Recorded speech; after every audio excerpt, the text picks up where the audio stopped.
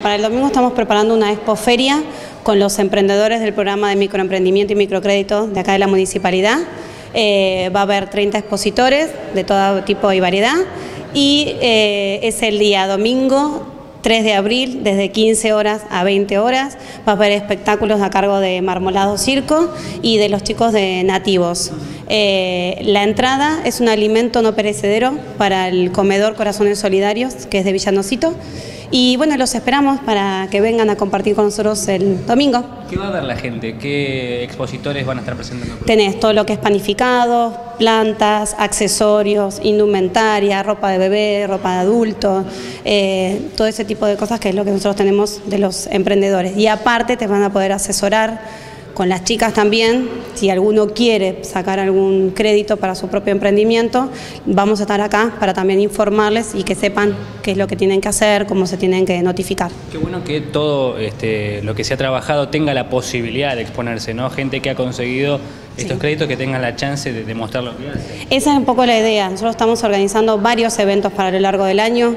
Ya venimos con el primero de Ingeniero White, el segundo fue en FISA y este sería el primero que hacemos nosotros como programa acá dentro de la sede, que es el CGC, en Brown 1700.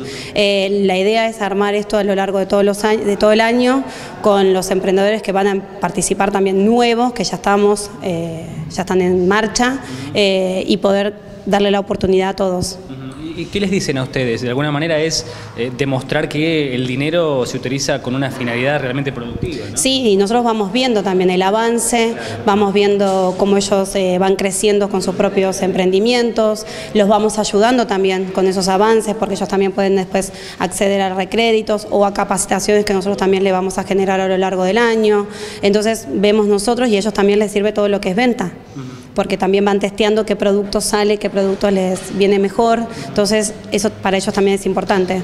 Si surge algún tipo de inquietud al respecto, Emilia, ¿hay todavía posibilidades de adquirir este tipo de microcréditos? Sí, estamos en plena en pleno comienzo, así que pueden acercarse acá a las oficinas de Brown 1700, la ex terminal, eh, pedir por las chicas del programa de microemprendimiento o economía social, que es exactamente lo mismo, y ellas las van a entender, les van a decir los requisitos, qué es lo las cosas que tienen que traer y esto hasta fin de año está en marcha, no paramos. ¿Son requisitos demasiado complicados? No, no, no, no, no, tienen que traer eh, lo que es su DNI, fotocopias de DNI, una garantía de terceros y nada más.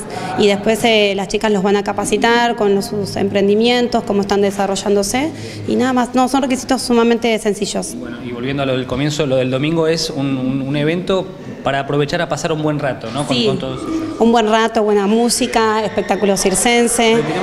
Sí, el día es, el día también, 3 de abril de 15 a 20 horas, acá en la este, terminal Brown 1700.